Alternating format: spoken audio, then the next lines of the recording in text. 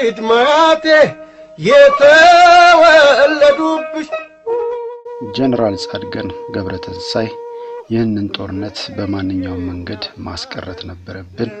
አሁን ላይ ጦርነቱን ማካሄዳችን በጣም ይቆጨኛል ሲሉ ተደምጠዋል። ህወሓት የመጨረሻ ድረሱልኝ ጥሪ ማስተላለፉ ተሰማ። ጀነራል ጻድቃን ገብረትንሳኤ ይህንን ጦርነት በማንኛውም መንገድ ማስቀረት ነበረብን። አሁን ላይ ጦርነቱን ማካሄዳችን በጣም ይቆጨኛል ሲሉ ተደምጠዋል። እውነትም ባትሞክሩት መልካም ነበር።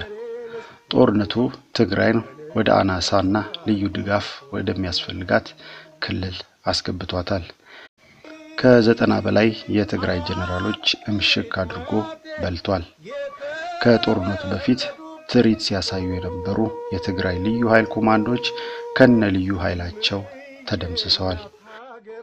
ወያኔ የሚመካበት የኢትዮጵያን ገበያ በብቸኝነት ተቆጣጥሮት የነበረው ኤፈርት አፈር በልቷል። ከኢትዮጵያ ካዝና ተዘርፎ የተገነባ ሕንፃ ሙሉ በሙሉ ማለት ይቻላል በመንግስት እየተወረሰ ነው። ከሰሜን እዙም ከጦርነቱ በፊት የተዘረፉ ለምስራቅ አፍሪካ የሚበቁ ሚሳኤልም ሆነ ሮኬቶች በመንግስት እጅ ገብተዋል አሊያም ተደምስሰዋል። ከወያኔ ጋር አብደው ኢትዮጵያን የወጉ ከቄስ እስከ ሕፃን አፈር በልተዋል። የህወሓት ስራ አስፈጻሚዎችም ሆነ ከፍተኛ አመራሮች በየጉድጓዱ አፈር ደች በልተው የቀሩት ተለቃቅመው ቅሊንጦ ቢጫ ቱታ ለብሰው ቁጭ ብለዋል። አሁን የቀሩት አስር የማይሞሉ ናቸው። ያ ሁሉ እብሪት ክልሉን ያለ ስንዴ እርዳታ ሳምንት ማሳደር አልቻለም። እንደሚታወቀው በጠቅላይ ሚኒስትር አብይ አህመድ መላው ትግራይ ተዘግቶ ነው ያለው። ይህን መዝጋት ወይ ደግሞ ብሎኬጅ መስበር አለብን። ይህን ለማድረግ አንዱ መንገድ የአፋር አካባቢ ነው። ምክንያቱም ጅቡቲን ከትግራይ የሚያገናኘው ይህ አካባቢ ነው። መዘጋቱ እስካለ ድረስ ይህን መዘጋት መስበር አለብን። የምናደርጋቸው እንቅስቃሴዎችም ይህንኑ ታላሚ ያደረጉ ናቸው። ሁለተኛው ነገር እንደሚታወቀው የተኩስ አቁም ለማድረግ የራሳችንን ቅድመ ሁኔታዎች አስቀምጠናል። ከትግራይ መንግስት ከተሰጠው የተኩስ አቁም ቅድመ ሁኔታ አግባብ የሆነ ምላሽ አልተሰጠውም። ስለዚህ ጫናችንን ማሳደር አለብን። አሁን ስልጣን ላይ ካለው የአዲስ አበባው መንግስት ጋር ስምምነት ላይ መድረስ አለብን። አሊያም ደግሞ መዘጋቱን በመስበር እርዳታ ወደ ትግራይ እንዲመጣ ማድረግ አለብን። ከሁለት አንዱ የግድ መደረግ አለበት። በአሁኑ ወቅት የምናካሄዳቸው ሁሉም ወታደራዊ እንቅስቃሴዎቻችን ሁለት ዋና ዓላማዎች ነው ያላቸው። የመጀመሪያው በመላው የትግራይ ህዝብ ላይ የተጣለውን መዝጋት ወይ ደግሞ ብሎኬጅ ለማስከፈት ነው። ሁለተኛውን ደግሞ ያስቀመጥነውን የተኩስ አቁም መንግስት እንዲቀበል ለማስገደድ ነው። ከዛ አሁን በኢትዮጵያ ላለው ሁኔታ የፖለቲካ መፍትሄ ለማምጣት ውይይት ይደረጋል። አሁንም ቢሆን የአማራ ሚሊሻዎች ምዕራብ ትግራይ ላይ ይገኛሉ።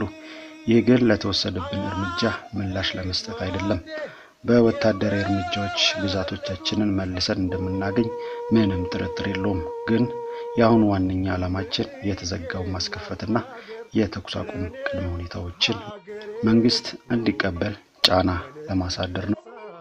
በአሁኑ ወቅት ጠቅላይ ሚኒስትር ዶክተር አብይ አህመድ የተኩስ አቁሙ ላይ በሚስጥር እንድንወያይ ተአማኒነት ያላቸው መልእክተኞችን መልእክት ይዘው እየመጡ ነው።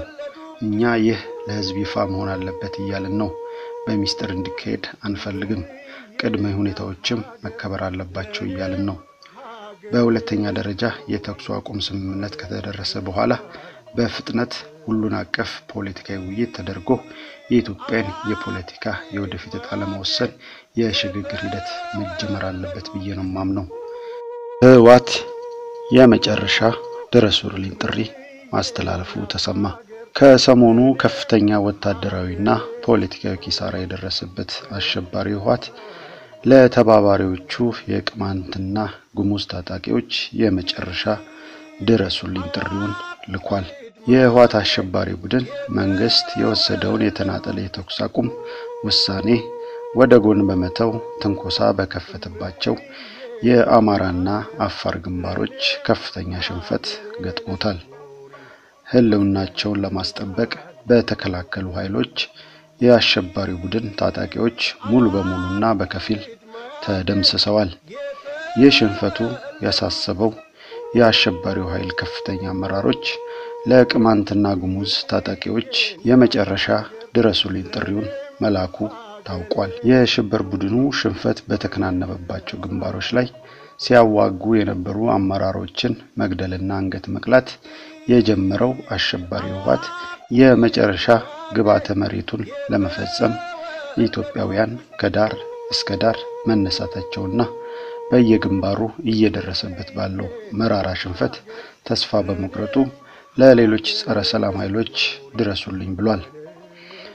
የመኖርና ያለመኖር ህልውናውን ብቻውን ማሳካት ሲያቅተው ኃይል ለመበታተንና ትኩረት ለማስቀየር የሽብር እንቅስቃሴውን የሚደግፉና የቡድኑ ዓላማ ተጋሪ የሆኑትን የቅማንትና የቤኒሻንጉል ጉሙዝ ታጣቂ ኃይሎችን የውክልና ጦርነት እንዲያደርጉለት ይህን ፍላጎቱን እንዲያሳኩለት እየተማጸናቸው ይገኛል ሲሉ ምንጮች ይገልጻሉ።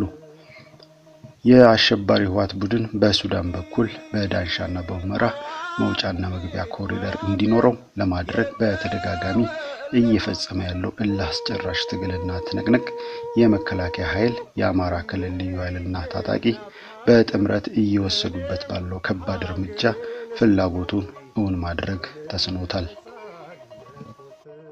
በእነዚህ ተላላኪ ኃይሎች በኩልም ሚናቸውን ለመወጣት ፈቃደኝነታቸውን በማረጋገጥ በተለይም ደግሞ የቅማንት ታጣቂዎች በሰሜን ጎንደር በኩል ትንኮሳ ለመፈጸም ጥረት እያደረጉ ቢሆንም ይህ እንቅስቃሴያቸው ከሀገር ወዳዱ የኢትዮጵያ ሕዝብ እንዲሁም ከመንግስት እይታ የተሰወረ ባለመሆኑ ተገቢው ቅጣትና እርምጃ በአሸባሪው ኃይል ላይ እየተወሰደ መሆኑን ምንጮች ገልጸዋል።